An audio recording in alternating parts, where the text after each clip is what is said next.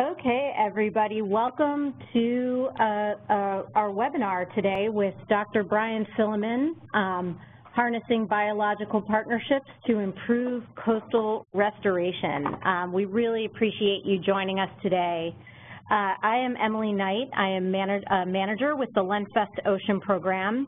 For those of you that do not know us, the Lenfest Ocean Program is a grant-making program that funds research projects and expert working groups to address priority science needs facing ocean and coastal decision makers.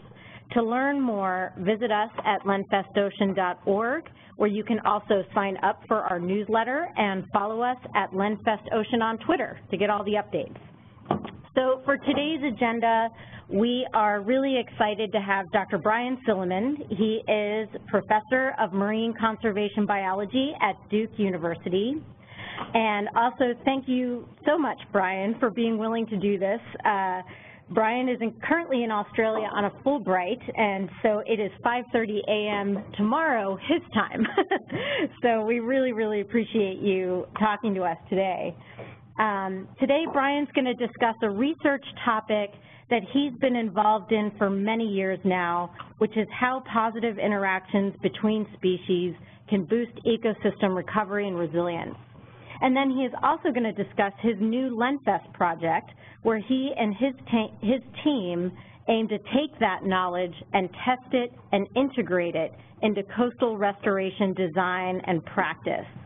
This project has the potential to be a game changer. First, as Brian will explain, there is evidence that incorporating positive species interactions into restoration design could significantly improve yields and cut costs. Second, to test this in the real-world decision-making context, Brian is collaborating with researchers, coastal managers, and restoration practitioners from sites all over the world from the very outset of the project to ensure his methods and his outputs are relevant and useful. And those growing re relationships alone set us on a much stronger path for helping managers get the most out of this field. So a couple of webinar logistics before I pass it over to Brian. Uh, we have all the attendees muted. Uh, this is to prevent feedback or echoes. Um, we will take questions in the last 20 to 25 minutes of the webinar. Use the Q&A panel to type and submit your question at any point during the webinar. We will keep track of the queue, and I will read it aloud at the end for Brian to answer. Also, when you submit your question, be sure to submit it to all panelists, not just the host, so uh, we can see it and, and, and make sure Brian hears it. Depending on how many questions there are, we may not get to them all, but we really welcome folks to reach out and follow up with Brian and or us at Lenfest. So for next steps, we are recording this webinar. In the next couple weeks, we will make that recording and video of the PowerPoint available online, and I will distribute that link via email. Um, I have a running distribution list for information about this project. If you are not on that, or unsure if you're on it and would like to be, just send me a note. So I am now going to turn it over to you, Brian. Okay. Um, I'm an ecologist, and I use experiments to unravel key species interactions that regulate ecosystem structure and resilience. And currently, um, I'm not only a professor with Duke University, but a grantee of the Lenfest Foundation and a Fulbright Scholar. And what we are looking at presently with experiments is the role of po positive interactions in the regrowth of ecosystems um, during restoration process, and that'll be the subject of my talk today. Emily, is this flashing back and forth between presenter mode? Right, not right now. Okay, well, I'll continue. It does on my screen, but I'll just go with it. Okay, so um, I'd like to start my talk today with a story about how I came up with this idea that biological partnerships and positive species interactions could be really important for the restoration of ecosystems. And um, that story is uh, is a study I did almost 15 years ago in Chile. I went down there with Mark Bertness and um, Jose Fariña, and we wanted to ask the simple question, um, whether organisms were more likely to cooperate or compete with their neighbors, in this case, the organisms would be plants, along a stress gradient. So we went down to the salt marsh in Chile, and in the salt marsh, we planted plants along a stress gradient from inundation stress, from high to low stress, and we planted them with and without neighbors. So we set up the experiment, and we went back to the United States, and Jose called us up um, not long after he said, you're not going to believe what happened. I thought that cows had come in and eaten it, but in, indeed a tsunami had come by and overwashed the salt marsh. And we went down to check it out, flew down right away, and what we found was really surprising in that the plants, the only plants to survive were those that were planted near neighbors, independent of where they were in the stress gradient. And so when the stressful event came by, we found that plants that were planted without neighbors couldn't survive, and those that one, the ones that did have neighbors, especially the ones in the middle, were protected from the erosion, and they persisted over this minor tsunami. It, it put about six inches of sediment on the salt marsh. And from that, I started talking to Mark. I said, this, this is an interesting result. Maybe this could really affect um, the success of restoration projects. Incorporating positive interactions, just a simple planting design, may change the trajectory of a restoration project. So that gave me the idea to think about doing experiments to test this idea and to move forward with the potential for positive interactions by design and restoration to make a big difference. I'd like to start out with um, uh, recognition of that this project is, is a giant collaboration between many members of, of my lab as well as the um, uh, managers and scientists on sites. In many ways, I'm just a facilitator uh, working in collaboration and uh, helping to design these projects to test the questions of whether or not positive interactions can really help out these restoration designs and increase yields. And it's not just my lab, it's scientists all over the world and managers in California, North Carolina, China, and the Netherlands. And in many cases, for instance, in California, these projects are, are spearheaded by those scientists like uh, Dr. Kerstin Wasson and uh, Monique Fountain, uh, and then a member of my lab will be collaborating with them. So this is a giant collaboration. In the Netherlands, Joseph van der Heide is leading this effort, and we're collaborating with him. So in, in discussing today, there are four sort of uh, main ideas that we're, that we're going to present today. First is how positive interactions are essential to marine ecosystem biodiversity, um, its persistence in the face of climate change, and also recovery rates and restoration. So that'll be the majority of the talk. And another theme will be the my proposal that we should have a new conservation and restoration paradigm in marine systems, and we should not only systematically deal with physical stresses or negative interactions, but we need to systematically harness positive ones. This would be a paradigm expansion for all marine conservation and restoration. Um, and then I'll go over the new project to test positive interactions under various um, various environmental conditions and integrate with restoration practice. Those are the ones I have going with the Lenfest and suggest to you the results so far that the likely result of, of changing our designs and taking advantage of positive interactions that naturally occur in ecosystems will lower cost and enhance our success.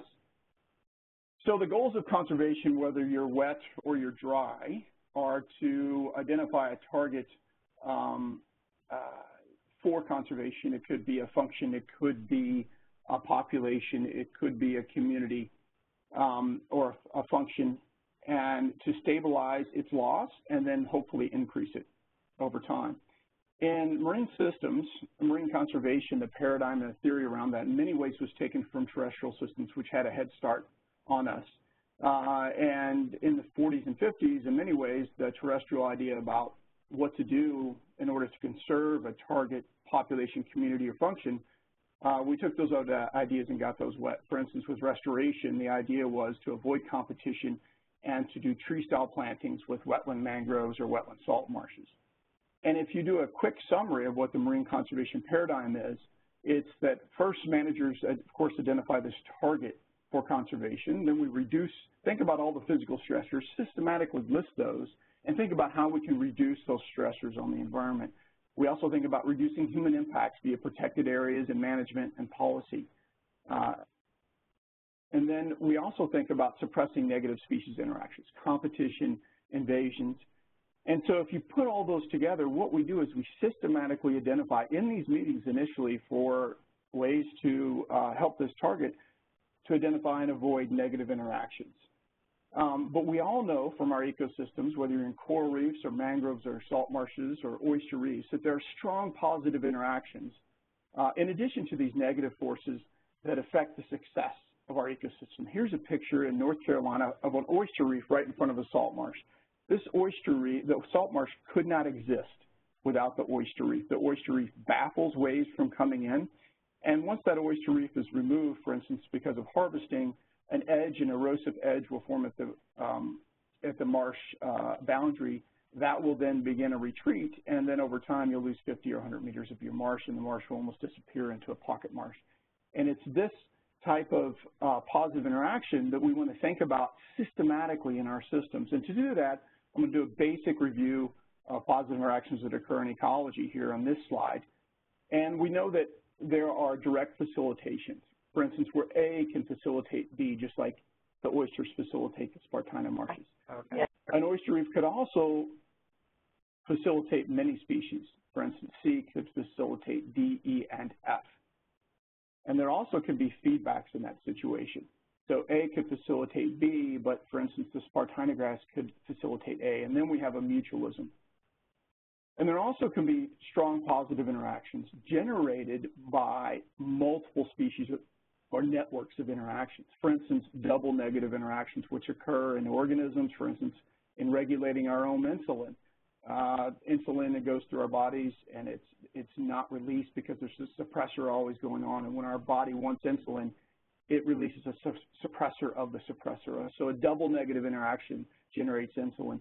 We have that in ecology too, through trophic cascades and other examples I give, where A suppresses B, B suppresses C, and therefore A facilitates C. Strong interactions that, that could be harnessed. And we also now recognize that double positive interactions can lead to synergistic positive interactions between A and C in those interactions.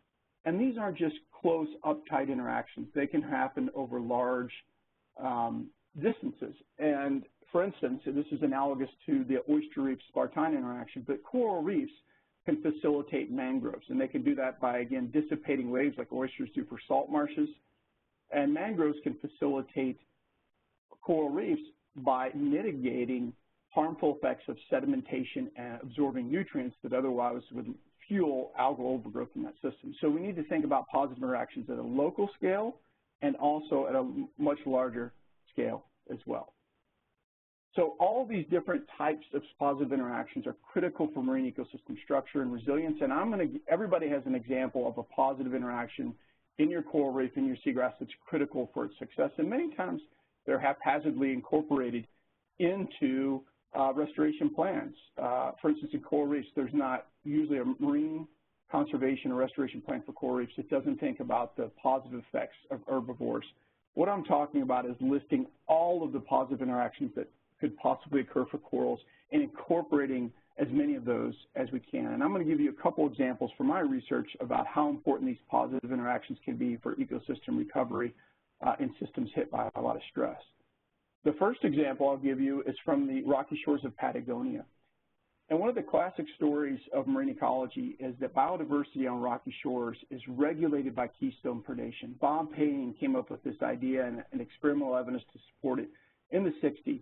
And he found that sea stars, by eating uh, large mussels that are competitive dominants and bullies, actually facilitate other animals uh, living in the rocky intertidal.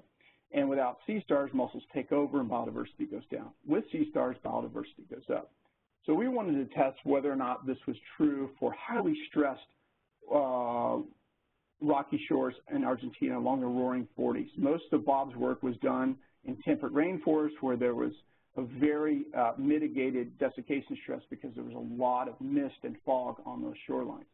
So we went down there and we're completely surprised. Uh, there was we didn't find any big sea stars. There was a carpet of mussels all over the rocky shore. You can see behind me that there's a desert. It was incredibly desiccating. And we didn't find anything. So like any good rocky shore ecologist, we brought out our ice scrapers and we started doing disturbance experiments. And when we did that, that's when we found all the different organisms uh, that we expected to find in the ecosystem, except they were tiny. It was a mini-me world and the, inside this mussel condo, the mussels were only an inch long or so. we found all the species that you typically find in a rocky intertidal. Down here you can see they're only an inch long. And we found chitons and sea stars and snails all living within the mussel matrix. And within a few moments of pulling them out, they started to desiccate and dry up. Um, and so we, based on these observations, we went back to our hotel there in Patagonia, had some quilmes and um, some mate, and started to think about what was our research question. And we came up with this. We thought that those mussels, instead of suppressing biodiversity, were critical to its recovery and persistence in time. And so we asked, what is the relative importance of predation and direct facilitation in controlling biodiversity, recovery, and physically stressed systems? We did this with experiments, and over a three-year period, we cleared areas and we kept them blank. We cleared areas and, and put cages up, and we did cage controls, and we did uh, mimics of mussels as far as rocks. And we looked at how biodiversity changed over time. And here's what we found. Along the x-axis are the treatments, bare rock, cage, cage control, cage plus shade, cage plus rocks, and cage plus mussels. Species richness is here on the left, and around 24 species per meter squared is typically what we would find in our observation. The black bars are low intertidal. Uh, high intertidal is the um, open bars, and those are typically less stressful. So you see in the bare zone after three years, hardly any uh, species recovery has taken place um, relative to 24 as what we expected. Uh, if you exclude predators, you find just a, slight effect of predator exclusion in the high zone, but that can be explained by the cage control. So no effect of predators unlike Bob Paine found before, what we do find is a huge effect of mussels on this last bar on the right. And we see that with mussels present, that recovery of the community is almost complete after three years. And these mussels indeed, if you look at mussel mimics, what they're doing is they're mitigating desiccation stress. It's so windy on average, 45 to 50 kilometers per hour there. And these mussels act like sponges, and they allow the biodiversity to recover after disturbance. So facilitation of biodiversity is generated by positive rather than negative interactions in this environment. When this was published and Bob, saying, Bob Paine said, I don't believe you at all. There's no way that sea stars aren't important. Um, and under high physical stress, they should be just as important. So let's go down there and check it out, Brian. And we made a trip. Bob came down there with Peter Kareiva, with a, a, a big crew of people, all those scientists involved in Argentina. We went down the coast. Um, and it was just a joy. It was great. And, and Bob, uh, we got there, took five hours to drive to the site, and Bob got down on his hands and knees, and at that time his, his vision wasn't very good, um, and uh, spent 15, 20 minutes crawling on his hands and knees down to the intertidal looking for these sea stars, uh, and only found those mini-me sea stars in the environment. He said, Brian, well, I believe you, it's probably just in this site, but it looks under like under high physical stress that positive interactions are more important than these negative ones. So that was a fun little story to share. Another example comes from Argentina on the other side of the South American coast. And this is experiments we did looking at recovery of salt marsh grasses, these long, tall sedges, uh, after drought disturbance. And what we found was that there was a critical positive interaction that was paramount to recovery of these plants. If you look down here at the bottom, these plants without neighbors, this is a Spartina species, doesn't grow very well, and that's because this crab over here has access to it. It's not blocked. That's its favorite. This tall plant is its favorite one to eat. The small succulent, they don't like to eat it. So when it's not protected by a donut of the succulent plant, it doesn't do very well. If you plant these plants inside the succulent ring, uh, you find a strong positive interaction where um, there is interspecific facilitation. And so what we found that critical to this ecosystem's recovery is interspecific facilitation. If you plant these plants out there by themselves and not protected by another species of plants, they will get eaten and ecosystem recovery will be suppressed. So it's not just direct facilitation where there's not a feedback. We know there's also strong feedbacks from these interactions between species A and B that can lead to even higher growth rates and recovery rates. And I'm going to give you those examples in the context of our research again in salt marshes in the southeastern United States. And over the past 15 years, um, what has happened is that like most ecosystems, mangroves, coral reefs, and seagrasses, salt marshes are experiencing increased and more extensive die-off. And we now know that there's two forces that primarily lead to this in salt marshes, extensive drought and at times interacting with overfishing, which triggers runaway grazing by snails and crabs that cue in on these drought-weakened plants to lead to these large die-off areas that you have here. And so we've asked, what are the key species interactions that regulate the recovery of these ecosystems. And what we found is, is, is pretty exciting, um, and I think those lessons could be transferred to other ecosystems. We found first that interspecific mutualisms are critically important to the recovery of these systems, and we found that plants planted with neighbors do much better than planted uh, by themselves. And this is because plants in clumps um, can deal better with the intense low oxygen stress that occurs in saturated soils. When wetland plants are dealing with saturated soils, they shun oxygen from above ground plant tissue to below ground in straw-like plant structures, and they're not completely efficient with that. The oxygen gets down to their roots and then it leaks out the roots across the gradient. And so a lot of the oxygen is wasted. But when they're in a, a clump like this, that oxygen that's lost out of the roots can be taken up by their neighbors. And so they have less oxygen stress when they're in groups, and you can see it doubles or, or triples their growth rate when they're planted in clumps. So we found that when we're uh, restoring these ecosystems or we look at their natural re regrowth, we find they do better um, when they're planted close to each other as opposed to being planted plantation style apart. Now, we also found that an interspecific mutualism, that is not within the same species, is critically important and essential for this ecosystem not to turn into an alternate stable state like happens in coral reefs. We found, what we found is these over 250,000 acres of salt marshes died out for the last 10 to 15 years, but most of it has recovered. So we're asked, how is it recovering and not turning into an alternate stable state? Well, we went into these patches, and Christine Angelini led this effort, and she found that 98% of the surviving grasses within these die-off areas were associated with this mussel mounds, this rib mussel here. And in those mussel mounds, that was like a, a luxurious hotel for the grasses. They had extra nutrients because of the feces, the, the pseudo-feces the mussels were planting. They were like tree fertilizer stakes. They were also spots with high drainage, so drought impacts were lower there. There were lower salinities than you might expect in an area without mussels. And there were also mussels, harbored predators that would eat grazers that would come by. So it was a great spot to be. Uh, and if you look down here in above ground biomass, it's almost twice as high in areas with mussels as compared to areas without mussels. And what we found was, if you then, after the drought goes by and you've had this large die-off, how does recovery occur? That we found that most of the recovery occurs on the edge of these mussel mound areas, and that um, if you look at model projections, and we look at the relative the relationship between die-off size on the x-axis here and years to recover on the y-axis, that with mussels the system recovers um, over a 10-year period, no matter how big the die-off size is, and that's because these mussel mounds serve as a nucleating area where regrowth occurs in relation to uh, the uh, edge to area ratio is very high here, so plants are using rhizomes to grow in. Without mussels, we have bare die-off areas, and then with increasing die-off size, we see that take almost 100 years to recovery. And because our droughts are coming every 20 years or so, what this means is that without mussels, this, this system would slip into an alternate stable state. So mussels are critical for avoiding a phase shift in the system, an interspecific mutualism.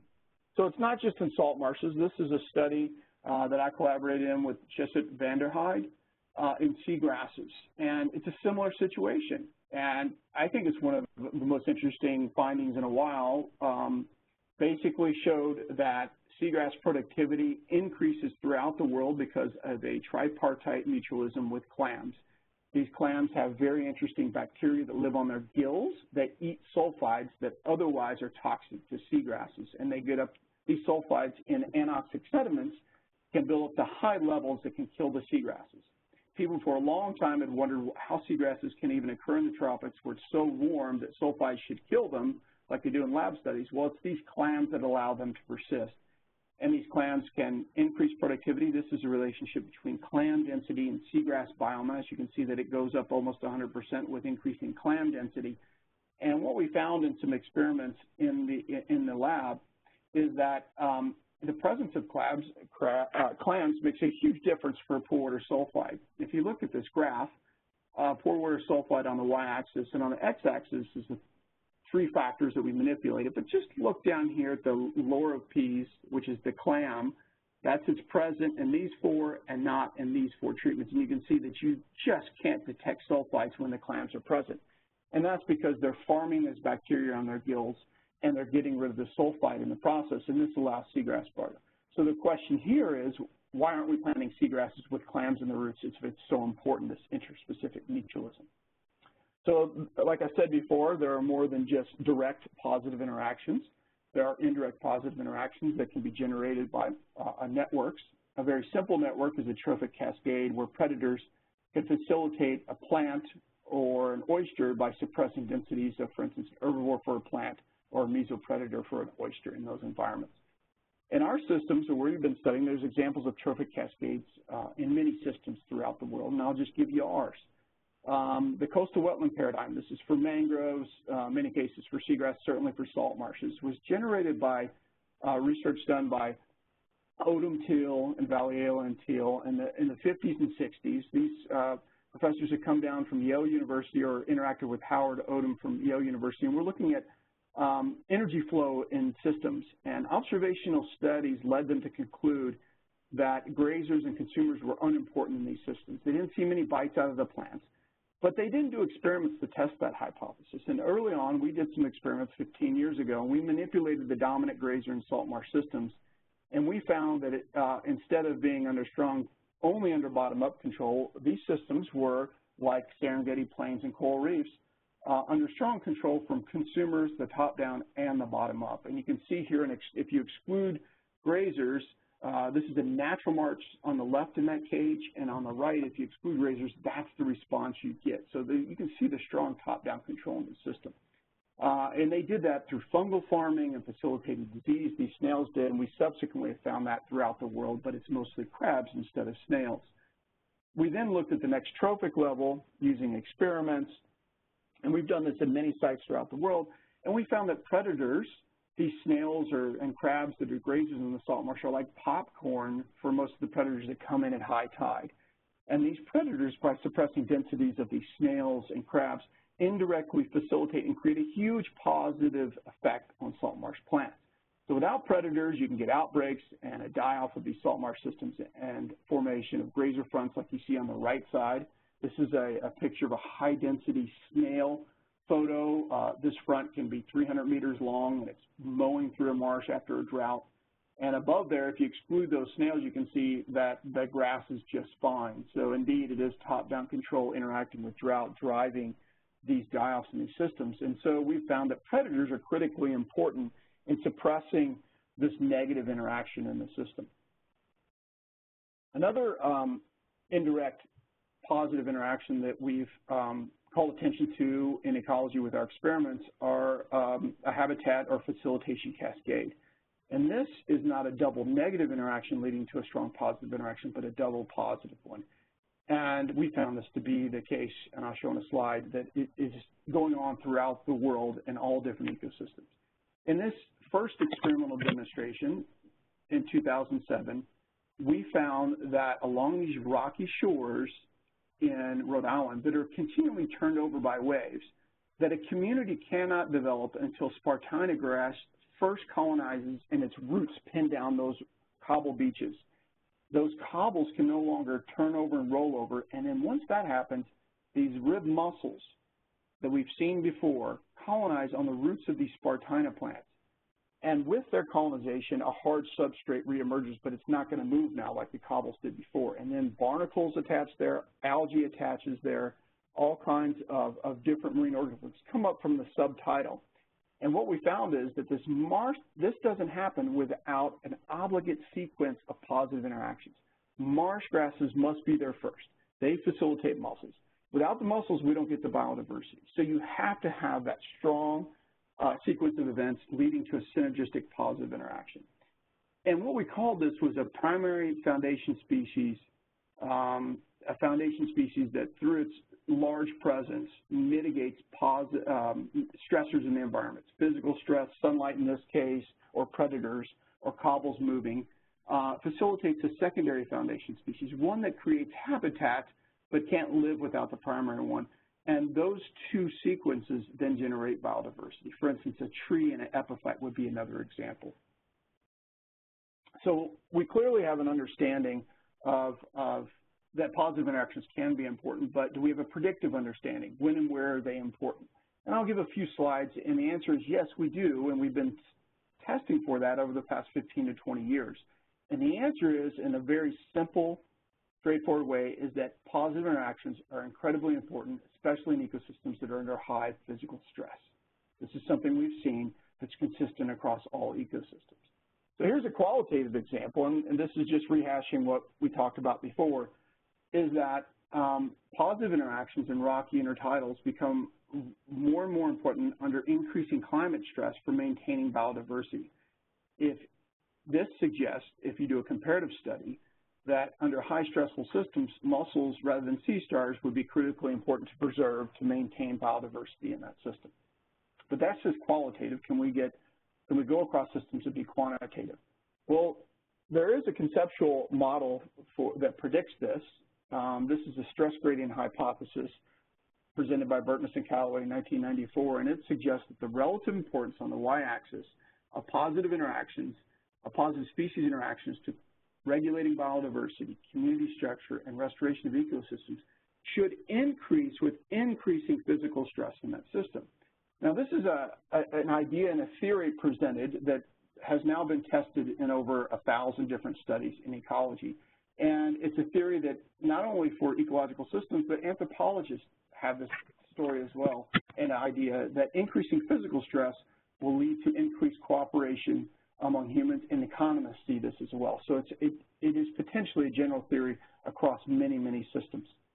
Um, here's a meta-analysis results that have looked at over 200 of these studies that looked at the net effect of having neighbors present um, under stress and not stress. So let me explain this. This is the effect size on the y-axis. Above zero means that it's a positive interaction with the neighbor below zero is a negative interaction with the neighbor of competition. On the y uh, x-axis is stress duration, so it's increasing stress duration. And then here we have open and closed circles. Open circle is uh, low stress, and um, closed circle is high stress. And we can see as we do high stress for each one of those cases, we see an increasing uh, positive interaction between the organisms. And as we increase stress duration, we see that all the interactions are positive with the neighbors. And so this provides very strong support for the stress gradient hypothesis in that as environmental stress increases in ecosystem, and this is across terrestrial and marine systems, algae versus trees versus plants, that we see strong support for this. And to go back, we've also seen generality for this important, uh, what we think is an important interaction between habitats, habitat cascades. And there's examples of these in almost every ecosystem. Um, you know about the one with salt marshes and mussels and barnacles and other biodiversity, but there's seagrasses facilitating seaweeds that facilitate marine organisms. There's trees and mistletoe or epiphytes throughout the tropics, and those mistletoe or epiphytes can, can regulate almost 50 to 60% of the biodiversity in tropical rainforests. And then we also have plants that facilitate algal filaments and that facilitate snails. So it, there are many, many examples of this. And what we found is that we tested when are these habitat cascades most important? And we found they're most important in transitional, stressful transitional zones. So we look at, this is effect size, and this tells you the effect of facilitating biodiversity. And what we found is that habitat cascades are most important in this, on this red dot, the transitional communities. These are the uh, ecotones. This is as you transition from a rainforest to a grassland, seagrass to a mudflat, as that these habitat cascades, these strong positive interactions are critically important for biodiversity maintaining itself locally as the system is under stress in those environments. So those are some examples. Everybody has those uh, from their system of where positive interactions are really important. Critically, they, without these positive interactions, many systems fall into phase shift changes and they lose their biodiversity. So if we systematically ex, ex, expand the conservation paradigm and restoration paradigm to incorporate positive interaction species as well, so when we sit down, we don't just say, what are the negative forces we need to get rid of and what are the, we need to additionally say positive forces to incorporate, will that change that? Well, we've put up a few conceptual papers and a few more have come out recently about outlining how we would do that systematically. If you're interested in corals, for instance, down here, let's list the nine different intera positive interactions that we know about that we could incorporate. So we've put some conceptual papers out, and recently we asked whether or not those conceptual papers are influencing the field. And um, doesn't look like they are too much. Um, is anyone reading the papers? Uh, maybe not. Uh, we did a global synthesis reveals gaps in coastal habitat restoration research. Only 3% of all restoration studies in our data set specifically tested for the impacts of incorporating positive species interactions into restoration designs in those areas. So this got us thinking, and we, we published this in 2018, but we had the data well before that, and we started doing research. We're like, well, maybe we really need to do test whether or not these positive interactions would be important in a restoration project. We see that in natural ecology studies. What about in restoration projects? So we wanted to do that. That's the next step in this story. Uh, if they work, um, how do we integrate those and how do we upscale? Working with managers and their ideas of, of what's going on specifically at their sites. So the first test we did was in the Netherlands and Florida, and I went right back to salt marshes, got to go with what you know. Um, we worked with the Boy Scouts in Florida and the Netherlands with uh, big restoration groups, and we simply did this. We said, okay, the restoration paradigm here, and we surveyed over 100 agencies, and all these agencies plant salt marshes in dispersed designs where they plant these propagules away from each other to avoid competition and the potential for negative species interactions. Our research suggested that instead you should plant them in clumps, and so we controlled for density. We had six plants to put out in a meter squared. We either put them together or disperse them, and the dispersion, again, is the current paradigm, and this is done all over the world. And we look for the effects. So there's no difference in density or the amount of conservation uh, investment, just the change in design. Uh, and we got really strong results from these plantings. What we found, if we look here on this graph, um, is that the black bars are clumped and the open bars are dispersed. Up here on the left side, Florida is on the left two graphs and results from the Netherlands on the right two graphs. On the y-axis is biomass down here, and then we have survivorship. So how well are these plants doing? Uh, and then on the x-axis, we have low and high elevation. So we did this across a stress gradient with low elevation being the most stressful for marsh plants because there's less oxygen in the soil. So if you break this down, what you see is uh, in most of the situations where clump versus dispersed can do up to 300% greater, this is with no extra resource, and grow that much faster when plants are together rather than dispersed. In Florida, for instance, in biomass, this happens in the low zone and the high zone. You can see that there's less of a positive effect when they're together in the high zone where there's less stress, but it's still better to be clumped.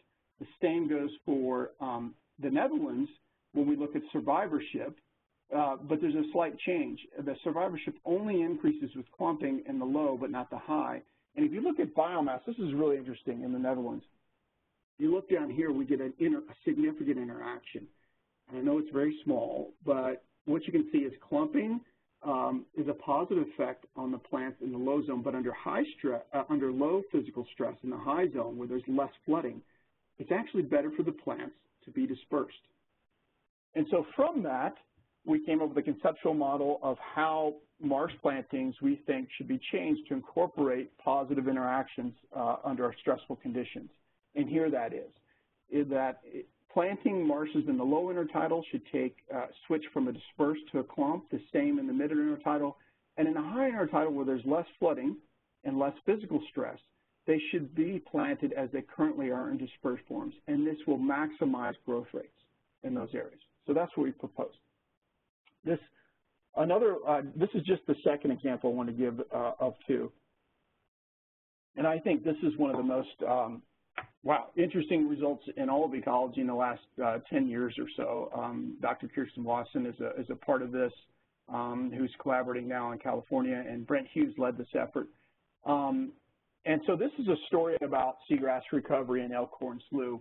And this graph right here shows, if you look, it's nitrogen loading rate um, and on the x-axis and on the y-axis seagrass bed aerial change. Um, and this graph, if you just look at the black dots, it shows us that as nitrogen loading increases, we get an exponential decay in the amount of seagrasses, and then about around 100 or 200 um, kilograms of nitrogen per hectare per year, that's when seagrasses disappear.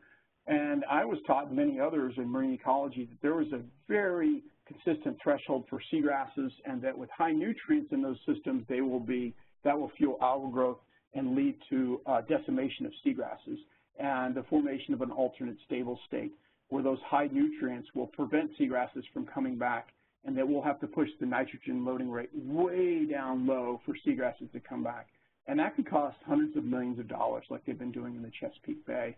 And, and I might add successfully so in the last five years. It's taken 30 or 40 years, they've reduced it.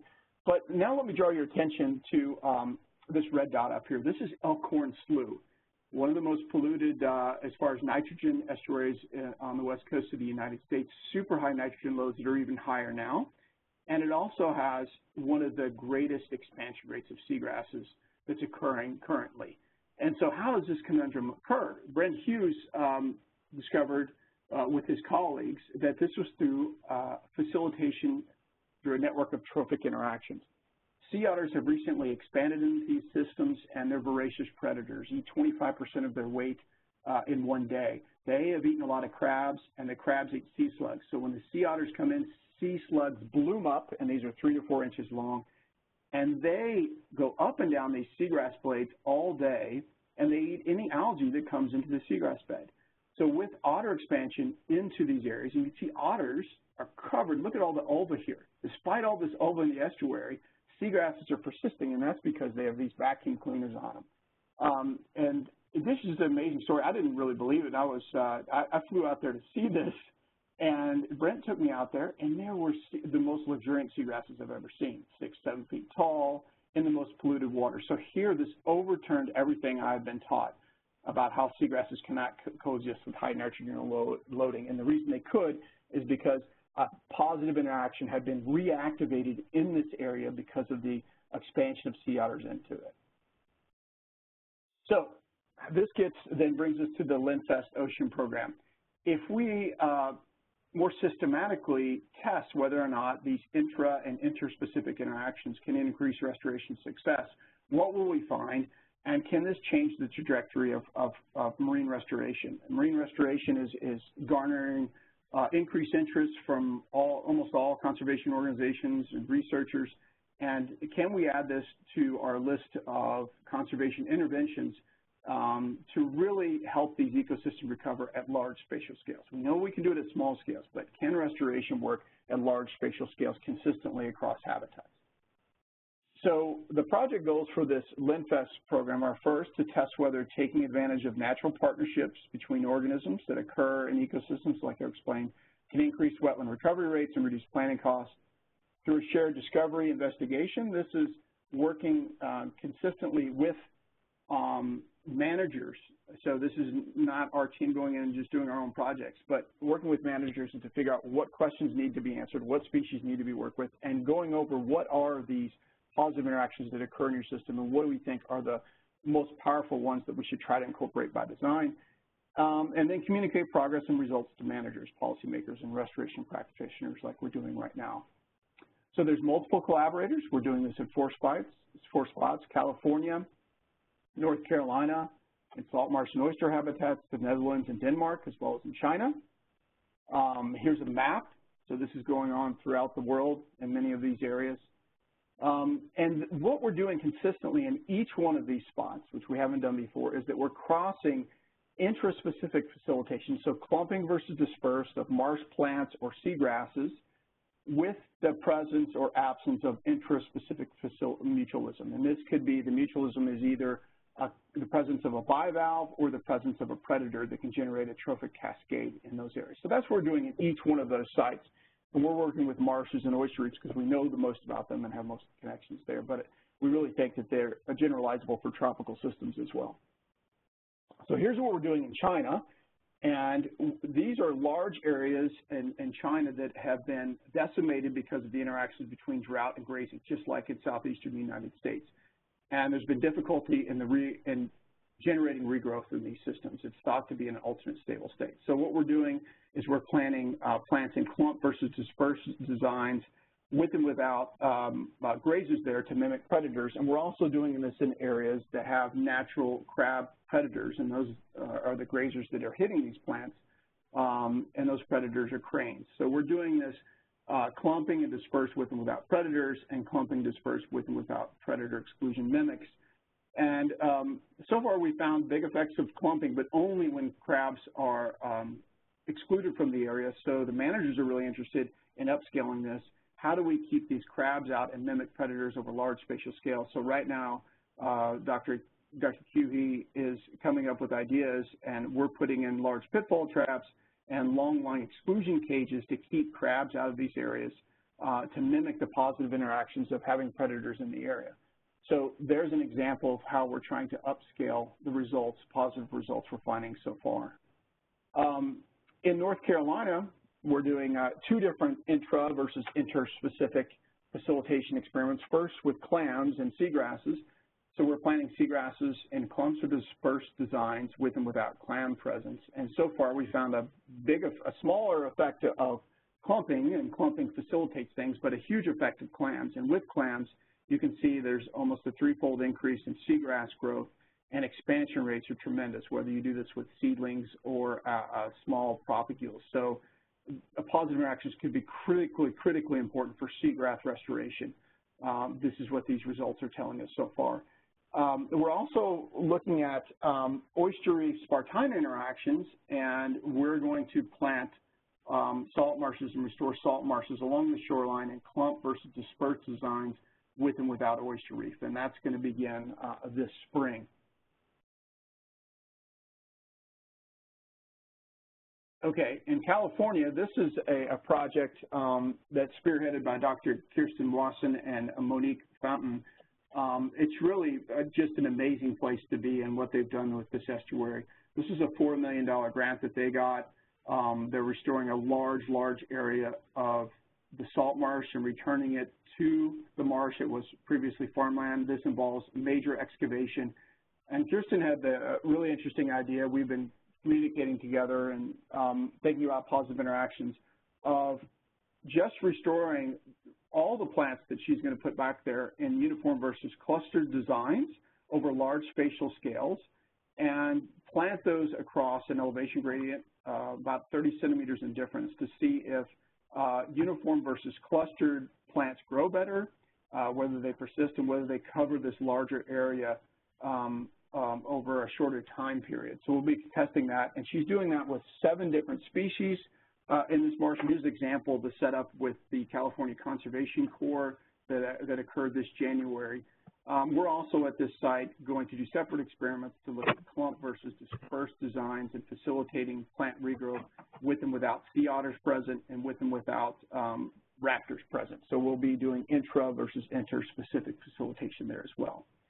And in uh, the Netherlands, working with Dr. Tjisse uh, van der Heide and Dr. Johan van de Koppel, we're looking at uh, whether or not the presence of uh, versus dispersed seagrasses versus the presence and absence of mussel bed mimics can help seagrass recovery and the relative importance of those two positive interactions. So we're, we're planting seagrasses without a mussel bed that helps mitigate wave stress in those areas and stabilize and uh, we're planting them in clump dispersed without a mussel bed, and then we're clumping dispersing them with mussel bed presence.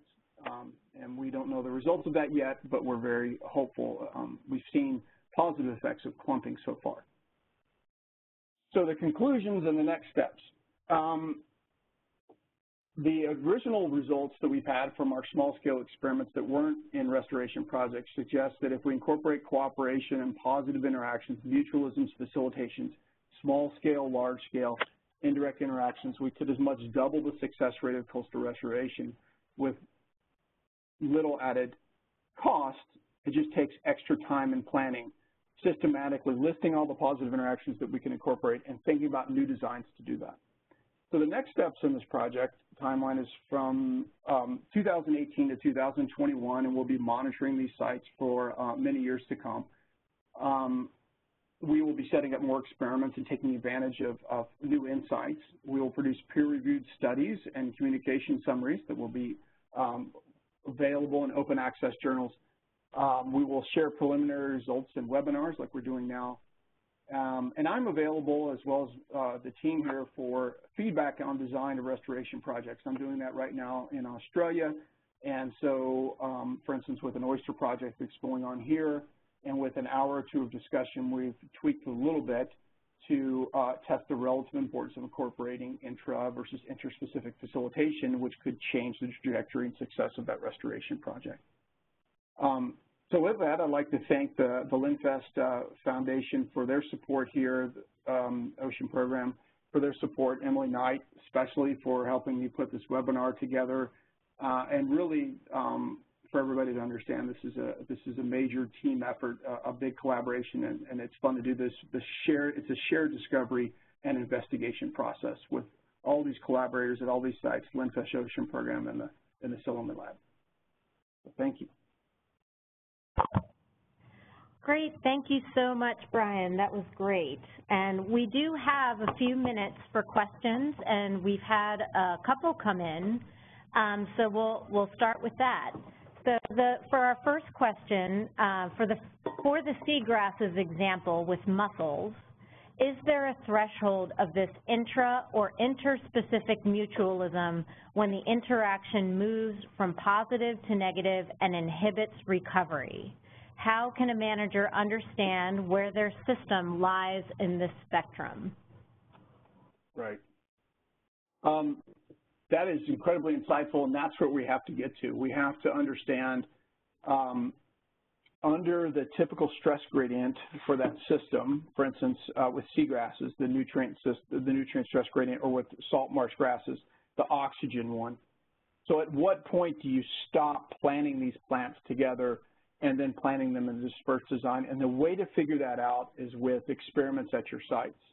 And those experiments are, are not too difficult to do and you can see the results pretty clearly. We saw, I mean, I did statistics, but you could just see them with your eyes. If, if you plant them in clumps up high versus dispersed, what you see in clump ones, they do worse, and at the mid and low, they do better. And so there is going to be some site-specific understanding and experiments that are important here, but that's what we do in ecology anyways. Coral reef managers don't um, understand that certain parrotfish are more important, species are more important depending on where you are, batfish are really important in the Pacific. And so some natural history understanding and some experiments are going to be critically important. But you're right, we don't want to just go out there and change design completely and clump these plants and mangroves up and down the intertidal zone. We know that we want to clump them down low, for sure, and we want to disperse them up high. But where we, we do that in between, we need to test with experiments. Cool, thank you. Uh, we have another question here. Are there grazers in the Chesapeake that play a similar role as those in Elkhorn Slough. Chesapeake predators that are analogous to sea otters can siting of shellfish aquaculture facilitate vegetative restoration? Okay, two different questions. This, these are really interesting. So um, I don't think it's as well worked out in the Chesapeake Bay. Certainly it's well worked out that the epiphyte grazers are critically important, like the small amphipods, for facilitating seagrasses there in the Chesapeake Bay. Uh, increased diversity of those amphipods and isopods uh, leads to greater control of epiphytes on those seagrasses. Um, and then there's hypotheses that, um, for instance, pinfish could be eating a lot of those amphipods and that predators such as um, striped bass that eat the pinfish and that eat the blue crabs that eat the amphipods facilitate them. So that could be there as well. And that could be really, really important. That needs to be tested. Uh, and I don't think that has in a rigorous way, like manipulating pinfish in those seagrass beds. Um, the other one about aquaculture and clams, and, and this goes back to the first question. Okay, we have examples of that clams and bivalves are critically important to these plants in seagrasses and salt marsh systems. But when and where is that important? We, we in generally know it's going to be important under stressful conditions, but with seagrasses, um, what I am hearing from other researchers, and this is probably going to be coming out the next two to three years, is that bivalves in general in the, in the roots really help them out, and that aquaculture facilities uh, can help uh, facilitate seagrasses under different conditions uh, and vice versa. And there may be something to do with the degree of overlap. In other words, uh, oyster aquaculture right next to them seagrasses will do well, maybe not right underneath them. There might be some shading that occurs. So there might be some, a spatial component where oyster reefs facilitate, natural oyster reefs may facilitate seagrasses if they're 50 or 60 feet away, but if they're right next to the oyster reefs, they may not because of sedimentation problems. So I imagine a lot of these positive interactions, I think with the bivalves, are going to be spatially dependent, from what I'm hearing, and need to happen at a larger distance apart. Thank you for that. Um, we have another question here. What is the mechanism by which clams enhance the growth of seagrasses? Um, that's a great question. We don't know that yet. Um, I'm not sure these clams that we use have the symbiotic bacteria on their gills that would um, lead to decreased sulfide production, um, or it's it could be certainly increased nitrogen availability, uh, or both. But uh, that remains to be investigated. When we studied this with mussels in Spartina marshes, we were looking for one thing that the mussels did. And we found that they reduced salinity, they reduced sulfides, they increased nitrogen concentration, Christine Angelini did, and that um, they also harbored predators that kill the grazers. So there's four or five different factors that they uh, had ways, pathways that had positive effects. So we have not um, figured that out. Another way could be stabilizing soil. I don't know, um, but that remains to be investigated. Thanks, and we'll take just one more question here. Um, uh, first of all, it starts with thank you so much for the webinar. Um, and then can you give some examples of positive interactions in coral reef systems? Also, do you know if mimic strategies have been used to reduce predation on corals? For example, crown of thorn starfish. Right. So um, this is really interesting. So we all know about herbivores. They could facilitate corals um, by suppression of algae. A recent study just came out in Nature Ecology and Evolution with Mark Hayes, the senior author and one of his graduate students that showed that planting um, corals, outplanting corals in diverse, so if you have five corals you're putting in a meter squared, if they're all different species versus a monoculture, the polyculture grows better. They don't know the mechanisms. They suggested because that's a diversity of chemical defenses, um, less competition.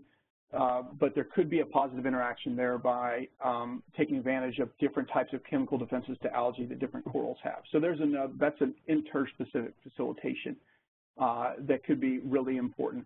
Um, planting corals next to seagrasses and mangroves where there's less sediment coming out could be critically important.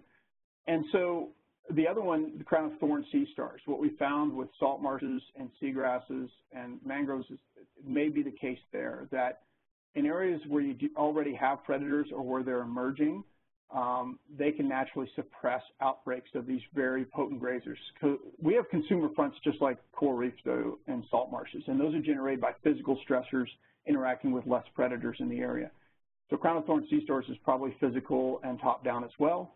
And I imagine that um, taking advantage of areas with predators, so on the edges of marine protected areas where predators are naturally occurring in higher densities, you may find that restoring coral reefs on the edges and having them grow out could be more important. Another one could be um, size dependent with corals that we're thinking about. In that paper, I can send that out again. We've listed all these. Another one is planting corals, uh, small corals around a large coral. So a large coral can provide a variety of, uh, of defenses, uh, positive interactions. It can dissipate wave stress. It can harbor grazers and those grazers can come out and clean the corals at night. It can also harbor predators that can eat snails. So um, there's examples like this. In the Caribbean, we're looking at whether or not lobsters can facilitate corals by eating um, uh, snails, that those Dracula snails that, that devour many of the restored corals. So we're looking for a trophic cascade there, which again could, could mean the difference in restoration being successful or being a failure.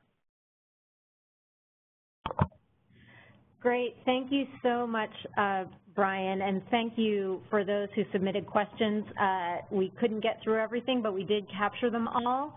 And again, uh, please do follow up with us. We will also share the, the link when this recording is up online. Um, and thank you again, Brian, so much for doing this. This was a this was a great webinar, and I am going to end the meeting now. Thank you. All right. Bye-bye, everybody.